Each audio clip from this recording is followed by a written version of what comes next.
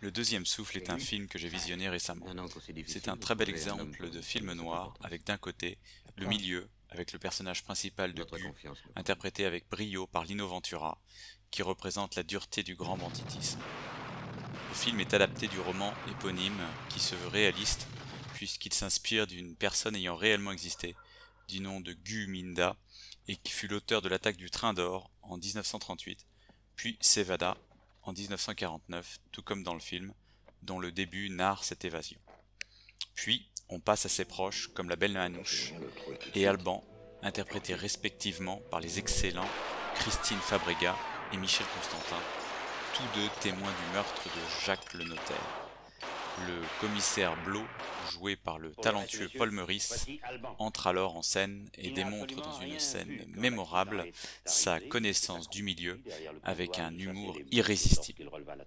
Le film continue ensuite sur une bataille à trois bandes entre le commissaire d'un côté, le clan de Gu et celui de Joe Ritchie. Un très beau film qui met en exergue le code d'honneur du milieu, l'âpreté des règlements de compte entre truands, servi par des monstres du cinéma français. Je vous conseille vivement le visionnage de ce film.